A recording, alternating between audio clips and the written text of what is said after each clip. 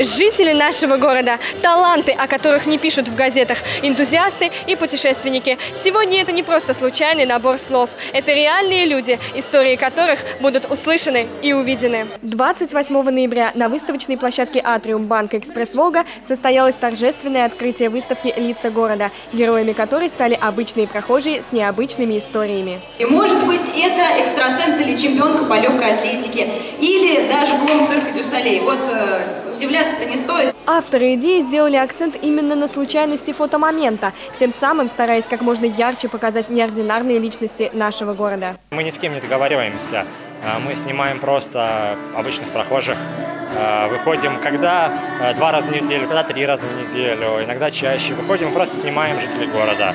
Проект начинался с идеи трех друзей, но сейчас над выставкой работала уже команда из 10 человек, многие из которых сначала попали в число героев фотоколлекции. Я был одним из героев мая.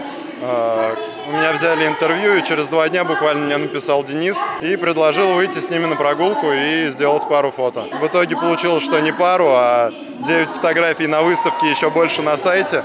Вот, поэтому так и попал, остался, закрепился. За время существования проекта накоплено огромное количество эксклюзивных фотографий и интересных историй. Но на выставке было представлено лишь 30 работ, авторами которых выступили четыре талантливых фотографа – Максим Сыч, Антон Слепов, Мария Мельникова и Антон Миславский. А к самим героям выставки было приковано самое пристальное внимание. И фотографировали, и интервью брали, и на видео снимали, и спрашивали, расспрашивали не, не устал, мне очень, на самом деле, понравилось, как бы это так это впервые, наверное, это меня прям на расхват. Вечер открытия получился весьма праздничным, но на этом команда организаторов выставки останавливаться не собирается и уже совсем скоро представит зрителям свои новые проекты.